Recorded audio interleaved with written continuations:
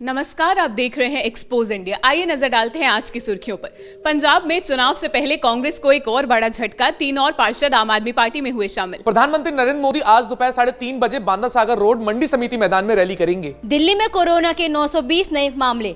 तेरह लोगों ने तोड़ा दम। उत्तर प्रदेश विधानसभा चुनाव के तीसरे चरण में भी 22 प्रतिशत दागे उम्मीदवार चुनाव मैदान में। पंजाब में आज प्रधानमंत्री मोदी की तीसरी चुनावी रैली अबोहर में जनसभा को करेंगे संबोधित। बुंदेलखंड में प्रचार करेंगी मायावती बांदा और चित्रकूट में बसपा सुप्रीमो की रैली। हिजाब कोई बच्ची मर्ज़ी से पहनते नहीं मैं भगवा किसी पर थोपता नहीं बोले सीएम योगी। यूक्रेन पर हमला करने की धमकी को रूस ने लिया वापस। हिजाब विवाद पर बोले असम के मुख्यमंत्री हेमंत बिस्वा शर्मा कहा बताएँ हिजाब ज़रूरी है या शिक्षा? अखिलेश टिप्पाल पर सीएम योगी का निशाना बोले लूट में चाचा भतीजा दोनों बराबर। भारत में थम रही है कोरोना की रफ्तार 24 घंटों में पचास हज़ार से भी कम केस आए सामने। इलाहाबाद हाईकोर्ट ने फेसबुक पर पीएम नरेंद्र मोदी की आपत्तिजनक फ़ोटो को पोस्ट करने के आरोपी व्यक्ति को जमानत दी। कुशीनगर में मातम में बदली शादी की खुशियाँ रस्म के दौरान कुएँ में गुडने से बच्चों समेत तेरह लोगों की मौत। सीएम योगी बोले दो चरणों के चुनाव से स्पष्ट हुआ 300 के पार के लक्ष्य को प्राप्त कर लेगी Bhajpa. Brazilian footballer Robinho gangrape का दोषी करार जारी हुआ अरेस्ट वारंट प्रधानमंत्री नरेंद्र मोदी ने कुशीनगर हुए हादसे में ट्वीट कर जताया दुख। भारत में पिछले 24 घंटे में कोरोना के 30,615 नए मामले आए सामने। मुख्यमंत्री सीएम योगी आदित्यनाथ झांसी और जलौन में जनसभा को संबोधित करेंगे। बिहार के गया में अवैध खनन मामले में पुलिस की ग्रामीणों के साथ झड़प महिलाओं के हाथ बांधकर की उनकी पिटाई। रूस यूक्रेन विवाद पर अमेरिका को उम्मीद रूस के हमला करने पर अमेरिका के पक्ष में खड़ा होगा भारत। एयर विस्तारा की फ़्लाइट की दिल्ली में इमरजेंसी लैंडिंग एक सौ छियालीस यात्री थे सवार। राहुल गांधी फतेहगढ़ साहिब के बस्सी पठान के नई दाना मंडी में आज रैली करेंगे। कर्नाटक के कई कॉलेजों में हिजाब पहनी कई छात्राओं ने नए सिरे से किया विरोध प्रदर्शन। अमेरिका ने कहा रूस ने यूक्रेन के बॉर्डर पर 7000 सैनिक तैनात किए। अजीत डोभाल के घर के अंदर घुसने का प्रयास करने वाले शख्स को लेकर माइंड कंट्रोल का एंगल आया सामने। पंजाब में प्रियंका गांधी की जनसभा पठानकोट में रैली करेंगी कांग्रेस महासचिव। डॉक्टर मनमोहन सिंह की चुनावी एंट्री वीडियो के ज़रिए बोले पूर्व पीएम की पीएम मोदी का राष्ट्रवाद नकली है चीनी सेना भारतीय ज़मीन आरोप बैठी है। मुलायम सिंह यादव आज करहल के चापरी में जनसभा को संबोधित करेंगे। चन्नी के यूपी बिहार के भैये वाले बयान को लेकर सियासत गरमाई। बिहार के मुख्यमंत्री नीतीश कुमार बोले कि हमें आश्चर्य होता है कि लोग ऐसा कैसे बोल देते हैं। अमेरिका संघ आखिरी चरण में पहुँचा ईरान परमाणु समझौता जल्दी फैसले की उम्मीद। भारत बनाम वेस्टइंडीज के पहले टी मुकाबले में भारत ने छह विकेट से जीत हासिल की।